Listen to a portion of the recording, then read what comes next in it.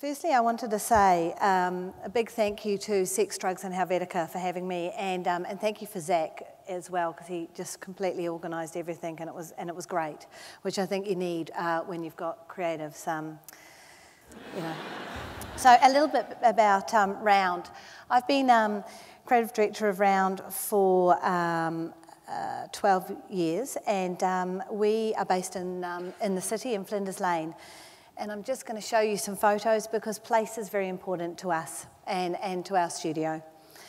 So uh, we're about eight people, and there's a couple of them um, in the studio here, and in the, in the audience here from the studio, which is great.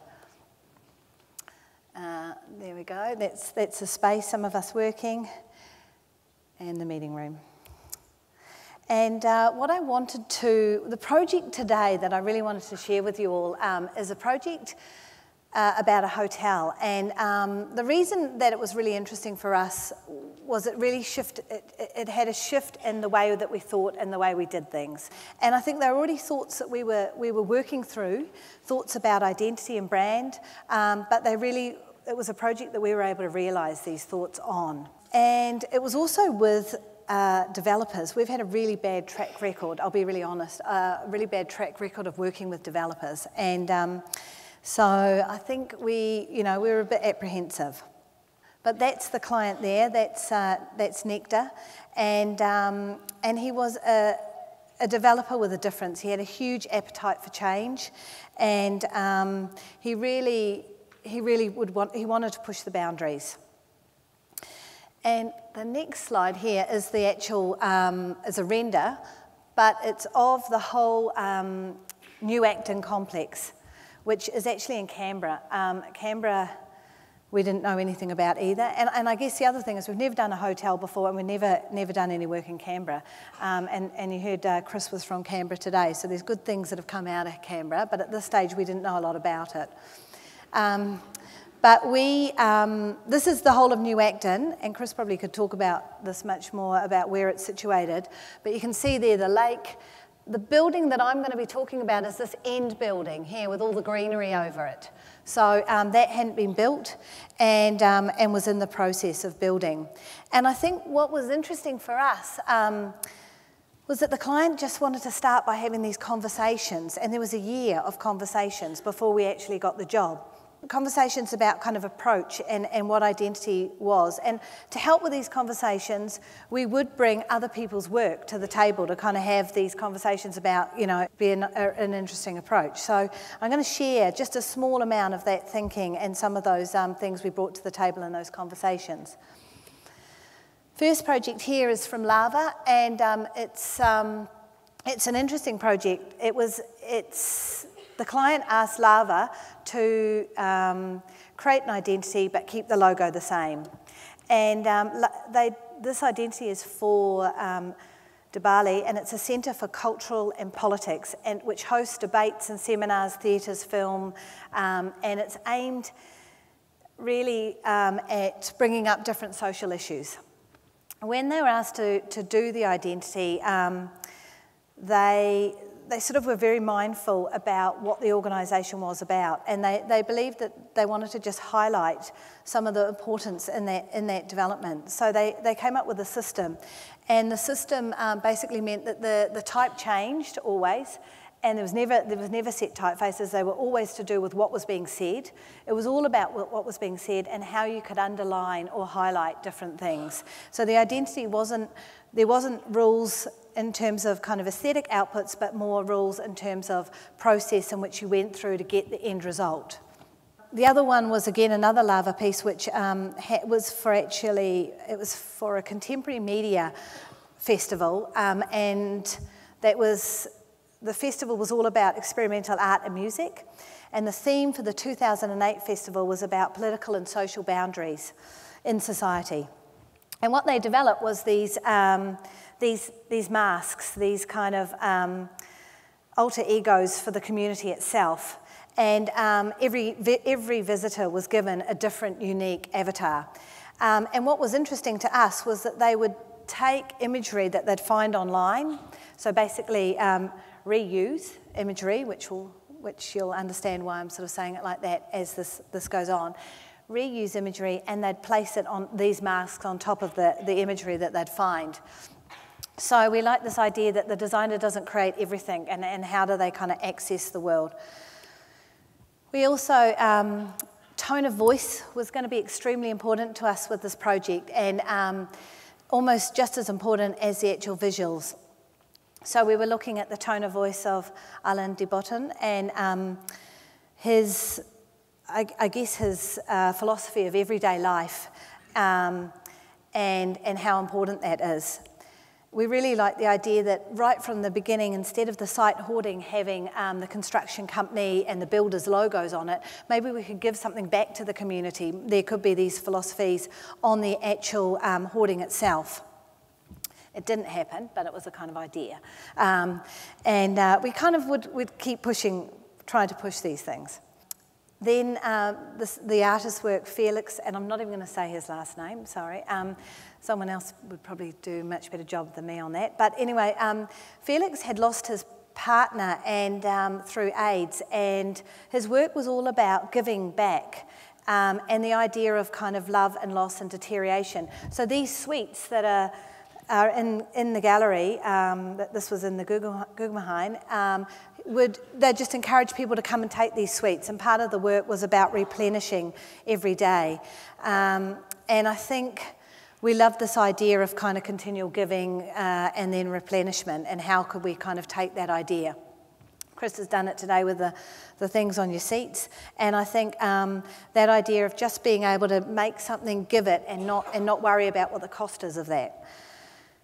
Also, um, Olafur Eliasson's work, um, this, is, this is actually when it was created for the Tate, but um, what, was, what was interesting is that the first time he actually did this work, it's 12 metres of Lego and, and it weighed about three tonnes.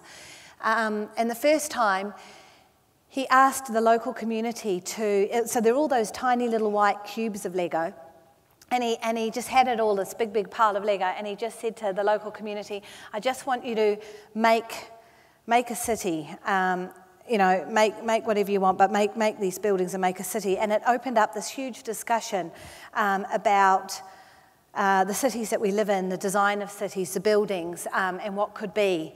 And, um, and it was an absolutely beautiful result. It's travelled all around the world, and um, and it's been documented. It's a really interesting idea of participation. So we, we love that idea as well. So, how do you participate? What is a true participatory project? And lastly, the work of um, Lust.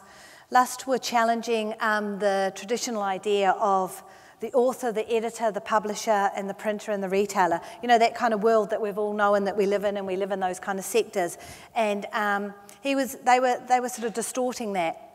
And they produced this piece giving free access to data, asking the user to modify, um, pass it on, seeing if they could adopt and, and um, adapt and improve, and then who was the actual original, um, and how do you become a co-author. So um, it's a very it's a very complex work, and, and I think, um, but it was that idea, and we went, we went into it in quite a big way, but th there was that idea that we were trying to also get as part of the hotel.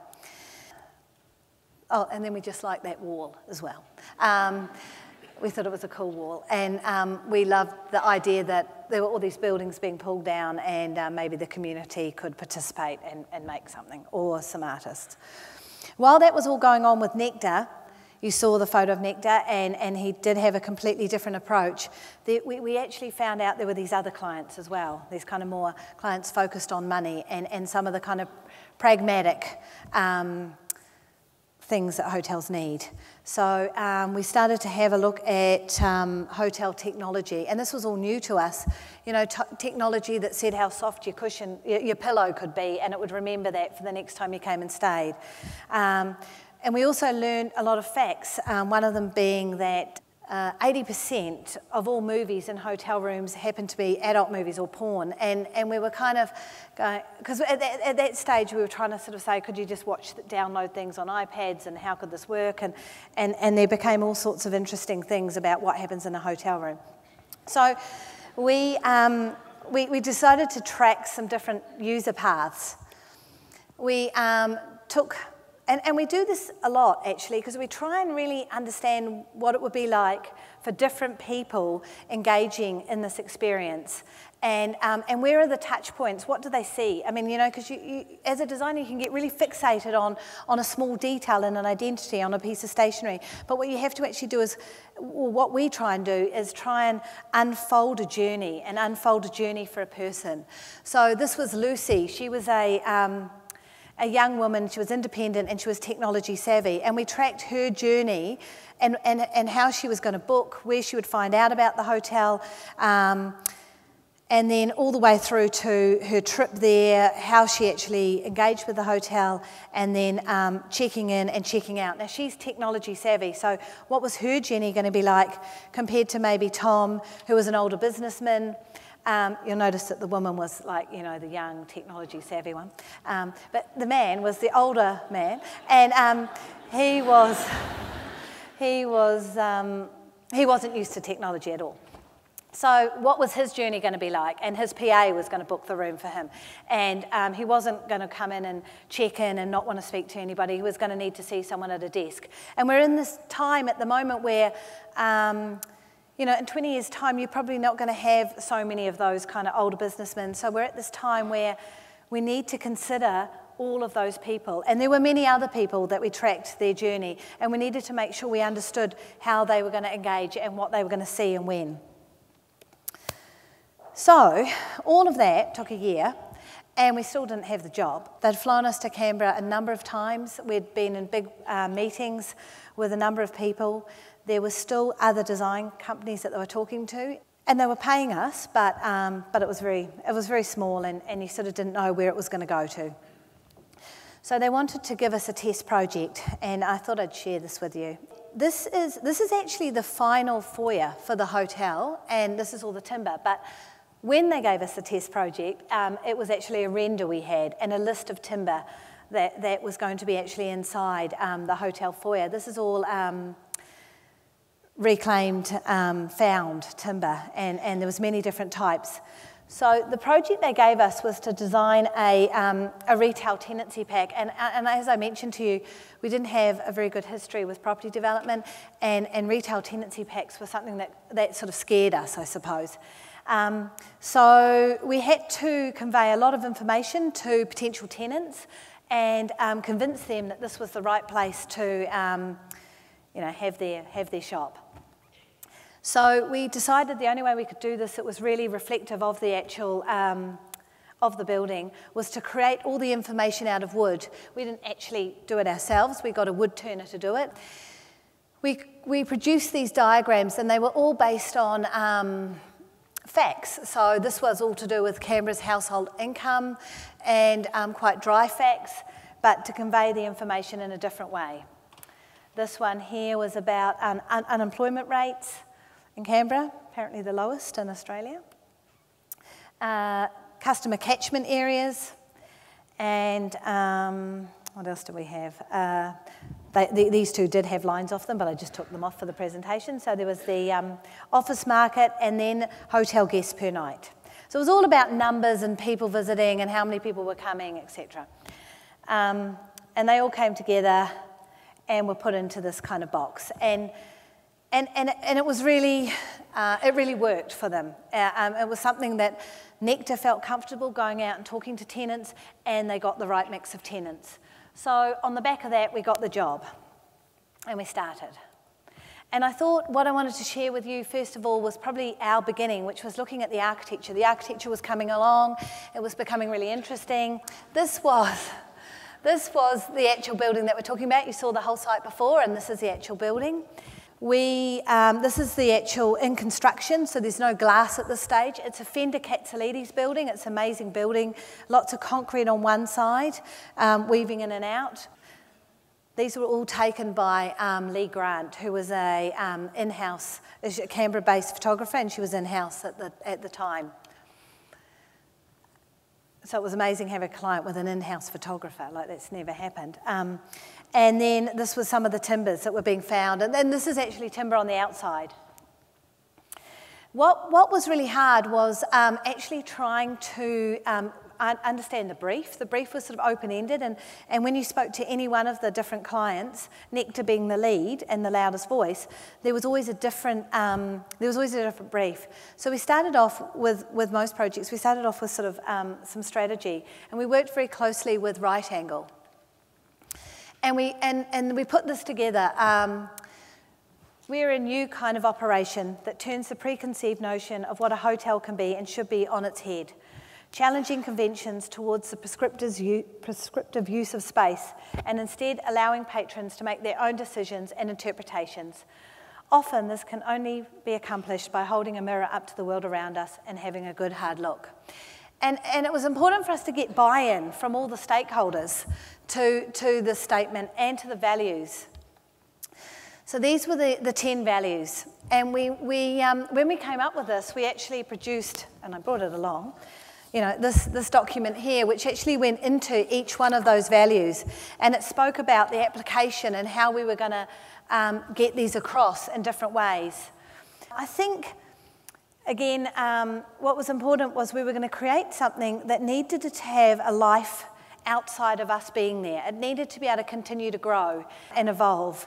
And so these values were there as a kind of framing work to kind of allow that, that um, to allow it to grow, but with, with a set of things that the philosophies and ideas that were important. When we started the identity, we were kind of a bit overwhelmed by the values that we'd come up with, and we were a bit like, we we're a bit stuck actually. We're kind of like, oh, what are we going to do? So we really just, we just thought we're just going to go with these ones participation, disruption, provenance, humour, um, fun, and making, and see if with those narrowing it down a little bit, what we could create.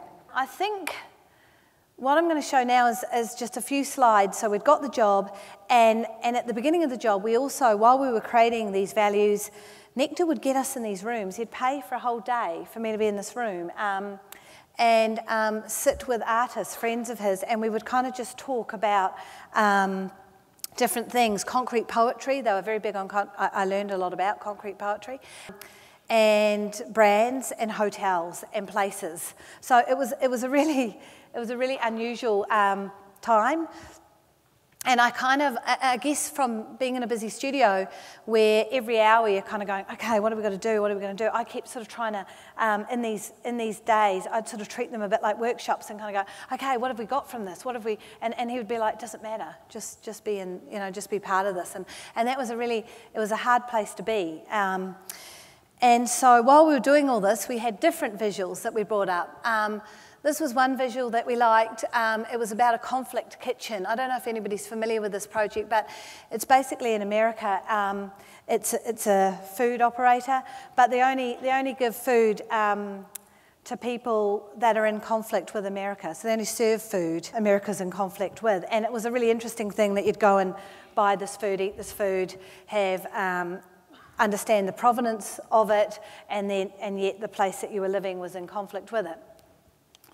Um, this one here uh, uh, was pretty obvious, but the kind of idea of green spaces and participatory green spaces and, and how to get hotel guests to become part of that. This piece here it was sort of about the, the everyday object and um, these works that were created from the everyday object. Um, and I think we were, we were very fascinated in um, how to take the everyday and, uh, and, and kind of change that and nuance that. And this, this piece here was basically um, this net, um, but it was also about trying to make adults have fun and, and, and what did you have to do to kind of get them to have fun. So, you know, put them on a big trampoline to get from one side of a building to another, um, which didn't happen. None of those things happened, but they were all talking points. So then we started on the hotel naming, and there was a number of different names. And I, and I think from the values, um, we really wanted to go with something that was very default. So the name became um, Hotel Hotel. That's not how it ended up looking. That was just, that's just what it looked like at that stage of the project. So it was a place for people, people. And um, we worked on, um, we started to, start, started to bring the, the whole idea together. We started to just put it on some of the images that we were getting provided. This was some of the dummy um, mock-ups that they were making for the hotel room. Uh, this is some of Lee Grant's images of Canberra. And uh, this is hotel vernacular. We started looking at the kind of idea of hotel signage and, and, and this idea of, um, of hotels. And then we started looking at the kind of idea of default and, and default language. We also looked at, I'm going to get to the work very soon, I'm sorry, but it was a long process that we had to go through, and I'm trying to, I'm trying to show that. Um, we looked at um, Buckminster Fuller's uh, ideas. One of them, you can never change things by fighting the existing reality. To change something, build a new model, and make the existing model obsolete. And that really felt like what they were trying to do with this hotel and what we needed to do. So, the only idea that we could really have that was true to all of those values was to beg, borrow, and steal, and um, not to create more, to, um, to actually, you know, uh, to create less. And um, so we went on this big mission. Uh, we also, there was this quote that we actually showed the client um, bad artists copy, good artists steal. And we, we decided we were going to be good artists and we were going to steal, and we were going to steal whatever we could. It was about the, the idea of overprinting um, on stolen or sourced um, hotel material. So don't make anything new when there's, when there's so much material out there. Um, and we went on this big mission trying to find stationery um, and trying to find excess stock. So we found different stationery, and, and actually, um, even though it was fairly hard, uh, we actually found there was quite a lot of um, excess material out there that um, had changed over the years. Addresses had changed as hotels had gone under. Um, the identities had changed, and, and, and actually, there were these kind of storage places that kept all of this old hotel material. So, this is some of the, um, some of the material that we were finding. And we started to print the identity on top of it, the hotel identity. And you can see different versions of that. And this is really early in the concept stage. We started to, as we were starting to do this, we did start to get a bit worried and um, uh, worried about the idea of ownership. The client loved this idea, but it was kind of who owns it and, and who owns this material um, this idea of um, a lawsuit maybe coming towards us was, was kind of getting really, we were getting a bit nervous about it. And, and the client was like, it doesn't matter, doesn't, you know, it's not a problem. And we were kind of going, oh, you know, maybe not to you, but, but to us it sort of does. So um, anyway, um, you can see here, oh, we also started to steal quotes as well um, and starting to put that on the material. So Drinking beer is easy, trashing your hotel room is easy, but being a Christian, that's a tough call, that's rebellion. That was Alice Cooper quote. And we started to put these quotes in different places and, and, and started to steal different um, tones of voice.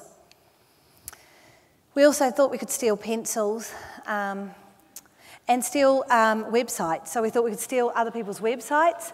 And, um, and that, that slide there was meant to be because Fabio was meant to be here, but he's gone.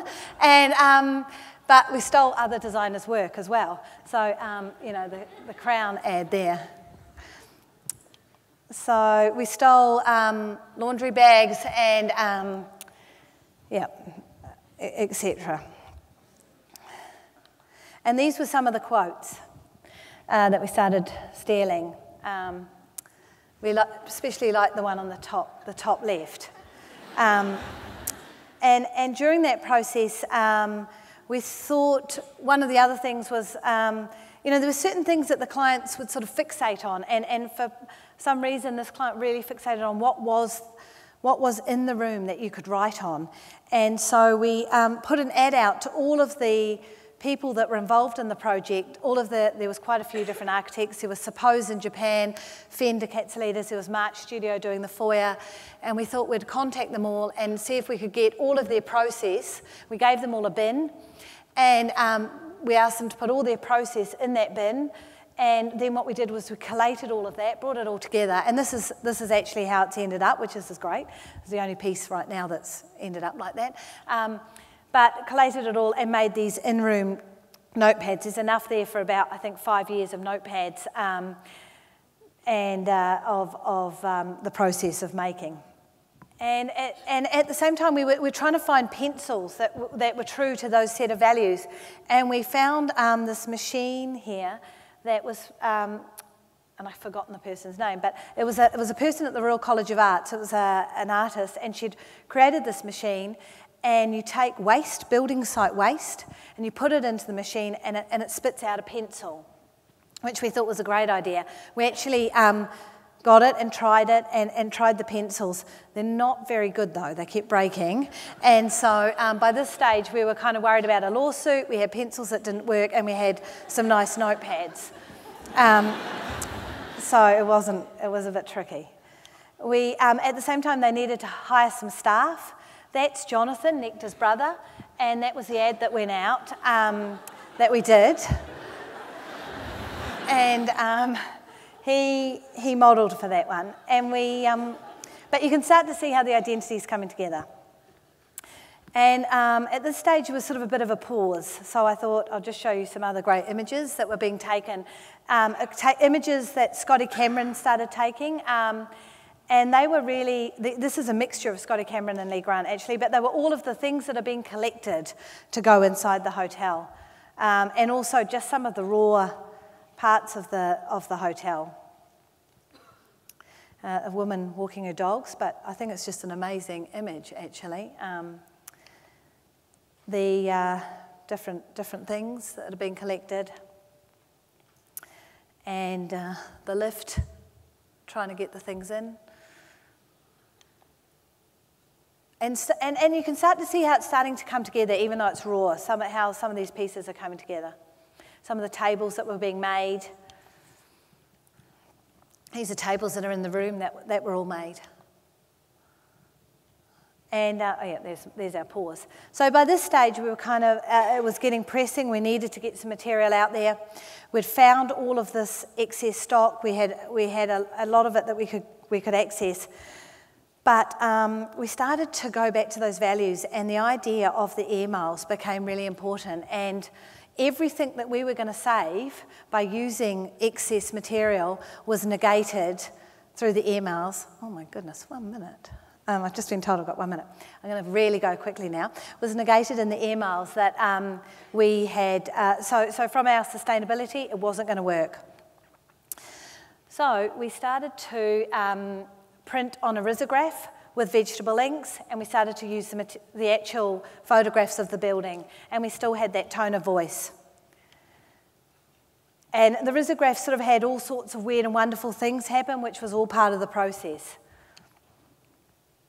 of making.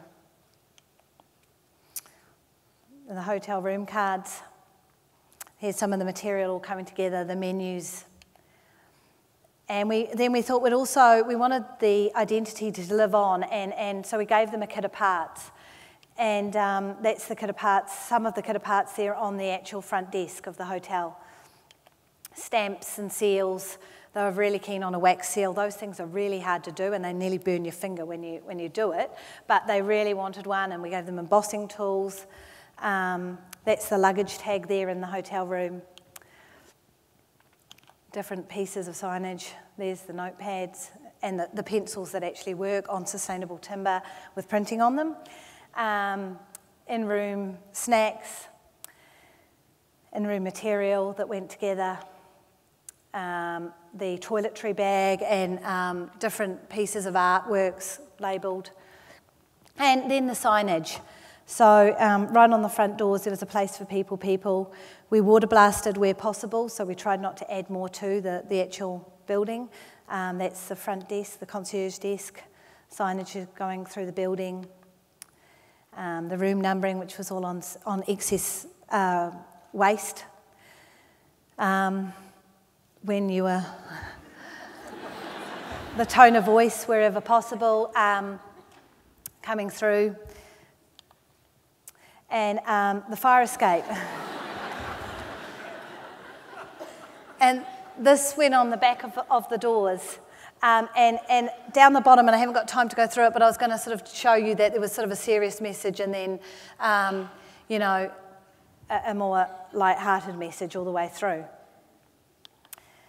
Uh, the, um, the website, and, and with the website, we, we, they had their own programmer, their own team, and we would sort of work with them and, um, and try to just uh, consult, I suppose, and um, refine where possible. I'm trying to make that sound a good process. But, um, again, uh, the email signatures there with um, that tone of voice wherever possible.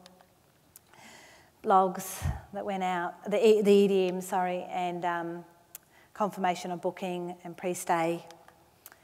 And the ads, again, are the same. So that did stay the same, and, um, the opening soon ad. And I think um, what I wanted to share with you at the end was a kind of piece that um, uh, sort of summed it all up. And it, it, it says, oh, We need a new design integrity. We redirect creative energy. We redefine the life cycle. We create ongoing value. We start with what's easy, easily available. We want sensible innovation. We invite everyone to participate. We create new owners. We enable you to share. And, and, and I think what we did was we left the project, um, and we're not working on Hotel Hotel anymore, but we believe that it's going to be an identity that will keep evolving, and, and we just started that ball, and we just started that process. And the time has changed where you actually kind of lock down a whole identity and it's very tight, and that's what it's going to be like forever. It's, it's now time that as designers we kind of begin a process and, and hopefully are able to just um, hand that on and say we've done our job and that allow others to be able to be part of that and participate in that. And that's all. Thank you.